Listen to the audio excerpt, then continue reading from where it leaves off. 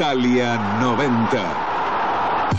Donde están solo los mejores del mundo. Fiat.